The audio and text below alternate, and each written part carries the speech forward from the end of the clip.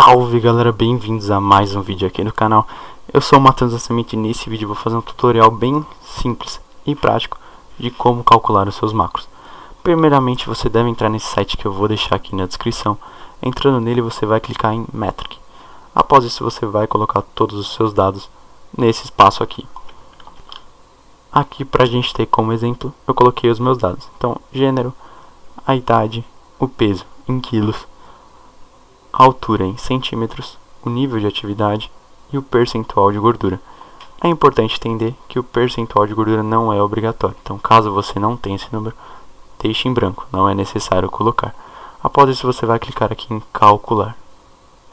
Automaticamente o site vai calcular o número de calorias que você precisa para manter o seu peso.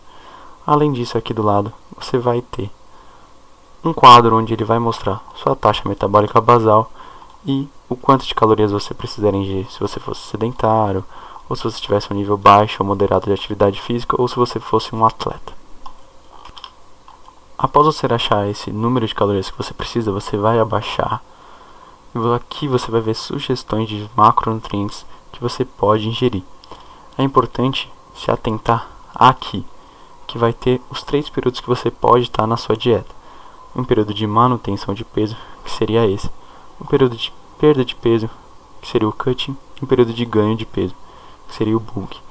Para todas as opções, é importante entender também ver que tem a opção carbo moderado, carbo baixo e carbo alto.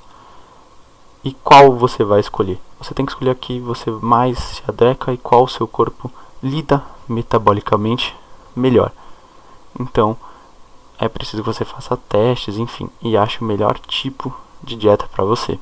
Bom, galera, então vocês viram como é fácil achar os macronutrientes da sua dieta, porém é importante entender que, por o site usar dados muito genéricos, isso nunca vai se equalizar uma consulta com um profissional de nutrição. Então eu recomendo mais uma vez aqui no canal que vocês sempre consultem um profissional para ele montar a melhor dieta adequada para sua individualidade biológica.